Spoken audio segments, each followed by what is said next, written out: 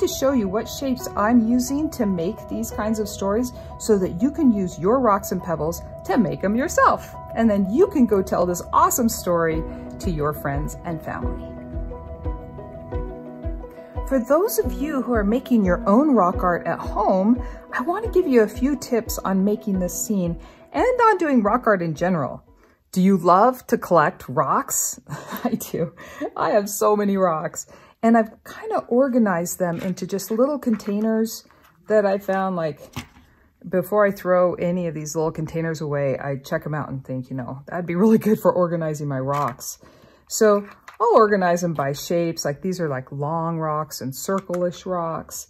And then I'll put bigger long rocks in their own place and little long rocks. That just makes it really fast and easy to find possibilities for when I'm trying rock art because it's all about just trying as many different rocks as possible. So the most important rock shapes that you can find are the circle rocks. Okay, that doesn't look like a circle too much. See how this is just kind of a wonky one even? That's more of an, I don't know, oblong. But they're all kind of circle-ish. All of these make wonderful heads. But the problem is you'll get a circle rock for a head and you'll put it on your character and you'll be like, oh my goodness, that's way too big. I need to get a different size. So then you'll try out a different one and then you'll put it on and you'll say, uh, kind of works, but looks really small. And then you just keep trying until you find one you like. This particular rock that I used has this um, mineral on it. So I could have used either side, which would have been really neat. That would work just fine. But because you could see a little bit of on the edge, I thought, well, that could be his beard, or maybe it could be his hair. Nobody else probably noticed, but I like to use the coloring and the markings on the rocks as much as I can. So finding circles is super important because a lot of your pictures will include a person and you need a head. And, you know, as I was trying different heads, you could see that they will work, but you'll find, end up finding one that's really the best of all. So there's really two sizes or two kinds of rocks that I really keep an eye out for. And that's these circle-ish rocks of all different sizes from teeny tiny. Here's my little teeny tiny ones that we saw earlier today. And I put them all in their own box to bigger ones. And I even have big giant circles like I use for the tomb the big stone that covered Jesus's tomb before he was resurrected. You know, so big ones are useful too. The other shape that I'm always looking for are long, skinny rocks. So look how skinny and long that one is. So you can call them tall rocks maybe, but anytime I see anything that looks tall, I'll grab it. It doesn't matter if it's really big or really tiny, I need them all. This one I think is absolutely beautiful because it has curves to it. Whenever a rock has any kind of curve to it, oh, that makes it especially great. So this kind of has some curve. And then I also organize my rocks, like I mentioned, into sizes. So these are my teeny tiny stick rocks, and these are my bigger stick rocks. And then even when I find ones that, that are kind of curved, I'll put them in their own box. And I label my boxes too. Can you see that? Probably not. They're curved and they're usually used for arms and legs. So all you really need to do when you're looking for rocks outside is look for your round rocks and your straight rocks or your tall rocks because it'll be used like crazy. So let's just take some of these. So we have two arms for Moses here. You'll see the curved one. So I really love that. But I could have used like any of these arms. Look at this one would have been really good too. See, that works great. Let's try another one. Look at this wonky one. Stick that out. See, it works. So you want to collect those stick rocks because look, we had all of these arms that we needed. And you'll notice also that like the arms for our savior, the arms for the adversary, they were thicker and the reason I got thicker arms is because they are wearing robes. Back in the day when Jesus walked on the earth or, well, and even way before then, this was like 2,000 years before, they wore long, different clothing than we have. And they were robes and they had thick, long, puffy, long sleeves and wide. And so I got these wider rocks to kind of represent that. See, that would have worked nicely. I keep turning my rocks around until they're just right. And see, that rock would have been just fine to use as well. It kind of stuck out here more. And when I found a rock that kind of was tapered, it fit right against that one. It looked a little better. So that's why I used that one. So long rocks, arms and legs, circle rocks, heads. Now, everybody wants to know about this. This was a miracle.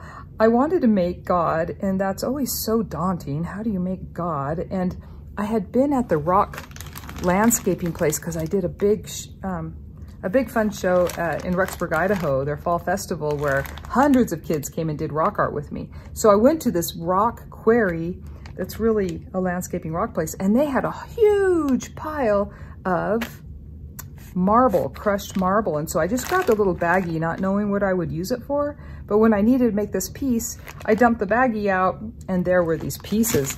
So when you're making a body of anyone, you can really use either two rocks, kind of the top part of the body and the bottom part of the body.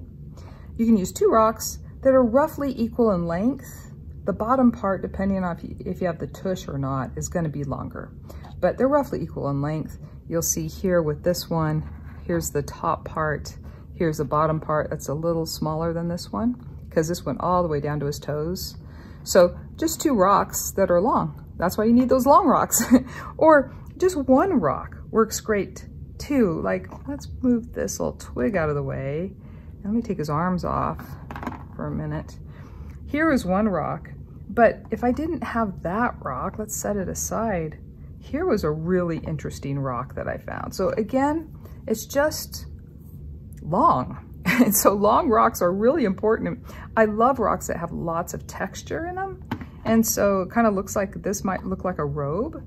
So this would have worked just fine too, as you could see. Pull this all down. See, that works great. Um, so I just went through my whole rock collection and looked for any long rocks that I had and tried them out until I found one that I thought looked the meanest that I could find. That would have worked. Maybe you always want rocks that have weird markings and and come out weird. So this bend here, instead of just being a straight rectangle, this bend kind of looks like his robe and the wind might be blowing it. So that's neat. It's wonderful, wonderful to find rocks that are not perfect. Here's a really neat rock because it's got so much color on it and all those little holes, little bubbles before it turned into a hard rock and even different color here in this line could even look like an arm or part of his robe. So I thought that was neat. And since I was doing the adversary, the liar, the cheater, I liked using red. Angry red, he's always mad. So I thought red was really good. But if I would have used this one, I that head is probably too... So I would go back to my round collection and see if I had one for this rock that works better. Let's try this one. you see, it's just really easy to see it once you try it out. How about this one? Well, now that one works. Even though that's not round, this could be like, they had long hair back then. This could be longer hair and this could be his beard over here. So that works just fine. How about this rock? You know, you can use it, you can tell it's a person, so it's okay that it's too tiny. We're just trying to depict the story. So I think that that's too small, and since I have other choices, I'll use one that's a little bigger. And that one looks pretty good. Kind of doesn't lay very well. You have to turn your rocks around until you get what you want, but that would work just fine. So I just wanted to point out that there, keep all your long rocks because they make really good bodies. Doesn't matter what shape, it's just kind of long and you know, they'll work really well. Okay, so let's not put him back together because I don't like him. I'll put this in here. Now, I wanted to mention that sometimes you will find a rock like this rock that actually looks like the whole character. I think this even looks a little bit like our, maybe it could depict God because it looks like there's a head up here, maybe some arms, and then this is the robe coming down. So I could have just used this one instead without even a head and just said, okay, that depicts God. So you don't have to use a bunch of rocks to tell your stories. You might just find one long one and say that's a person. So the neat thing with rock art is that You don't have to know how to draw or paint. The shapes do that for you. You just get to start experimenting and try different ones together until you have what you like. So are you getting the idea that to make a person, and in this case we had three characters in our story, all we needed was a long rock or maybe two, and then a head rock, a circle, and then some arms. And we talked a little bit about our arms. How about the feet? now, you don't need to put feet on your characters. Now, I love to do it just because it's cute and it adds something to it, but it's certainly not necessary. I mean, you can still tell it's a person without feet. I would just move them down, have them stand up. Look at that. Now, doesn't that look just perfect?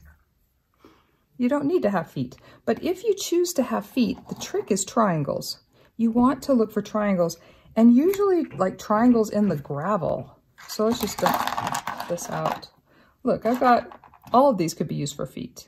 Here's a triangle. See, does that look like a triangle? One, two, three points. That makes it a triangle. Here's one. One, two, three. Even though that's not pointy, it's still the end point. So there's that's a triangle. Here's a triangle. But you'll notice all these triangles are long, or isosceles triangles. Um, they work better for feet. And even these teeny little ones.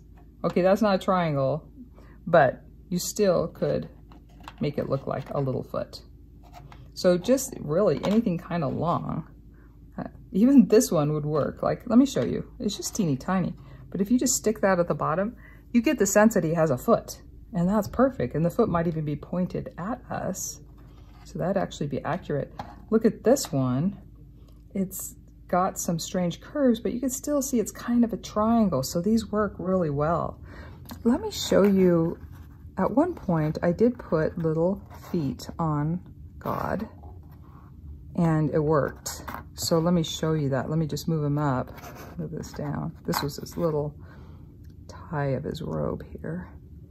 Okay, so all I had that came out of this bag when I got it, there were only a few little tiny pieces and there's some in there you can see. So I pulled all the little pieces out and there's his hands too. So those were all the little pieces in there. And I'm like, oh, there's a triangle. That will make a good foot. And there was a little place in his robe even. So I just kind of set that there and that's like his foot's pointing that way. And I thought, well, I don't want him doing a plie or having his both of his feet sticking out. That would work, right? But I thought maybe one foot is pointing at me. So that's when I put like maybe this here.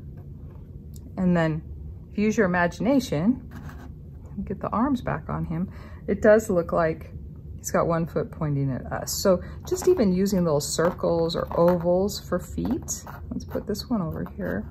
Um, it works. It looks like feet. And then also just little circles or ovals for hands.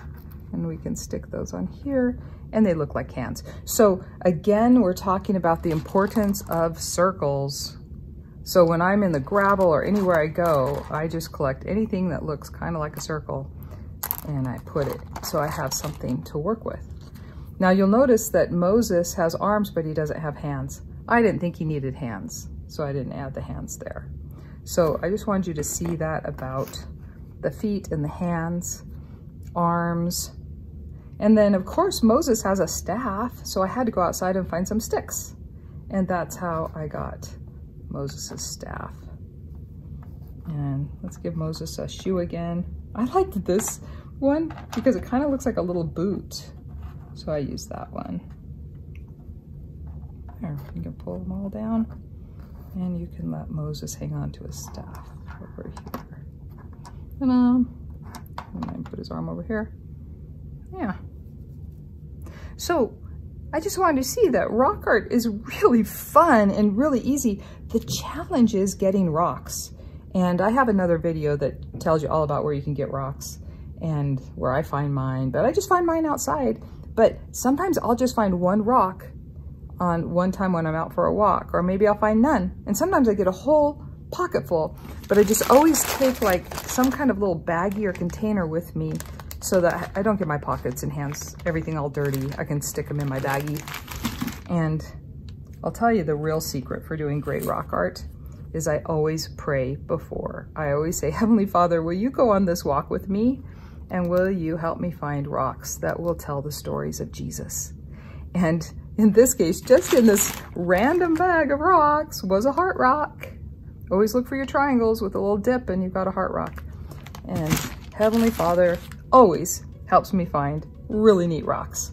So I hope you'll keep building your collection so that you can tell the stories of Jesus and help the rocks testify of Jesus. Remember to tell the story to somebody you care about, to your friends or family. And if you have rocks, you can use that, or you could draw pictures, or you could just tell the story.